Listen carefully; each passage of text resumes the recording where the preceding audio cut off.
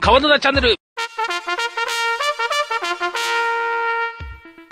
はい、どうも、どうも、東京どうも、いやー、めっちゃホールでありがとうございます。えー、ということで、今日は、えー、またね、YouTuber さんを紹介としたいと思います。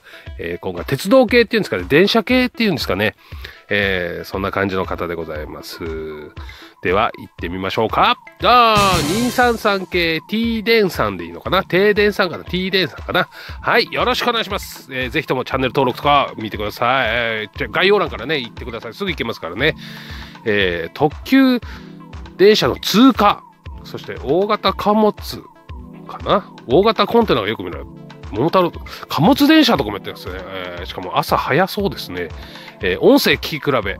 ね、えー、201系と221系ね、えー、混成、そして電車の駅のホームの外からも撮影、しかも朝、そして夜と、えー、なかなか大変そうですね。えー、ねえ、電車の撮影するっていうのもなかなか大変です。貨物列車を通過とかね、えー、快速発車通過。これ全部待って撮影したいのかな ?1 日かな？これね。バラバラなんですかね。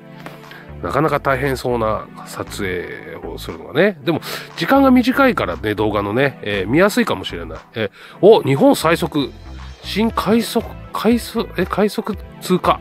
ね、琵琶湖エクスプレス。どうしても関東の人間はね、どういう電車なのかなってちょっと気になりますね。えー、貨物、ジョイントーン。ジョイントーンって何でしょうか？繋がってるところかな？ガタンガタンみたいなね。えー、ちょっとごめんなさい。素人なんでちょっと分かってないんですけども。早すぎ。新快速が爆走。恐怖を感じる爆音で通過。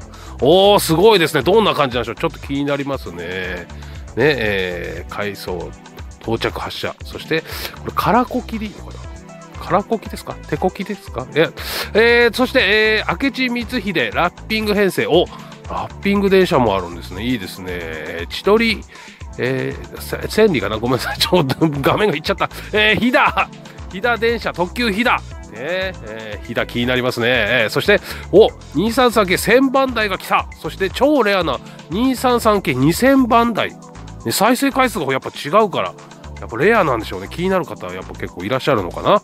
間違い探しみたいになってましたけど。えー、それで黒潮と。ごめんなさいね。素人なんでね。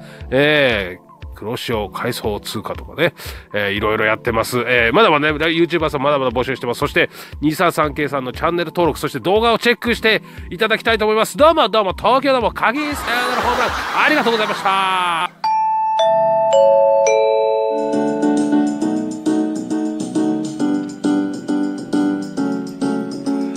さよなら。この動画最後まで見てくれてありがとう。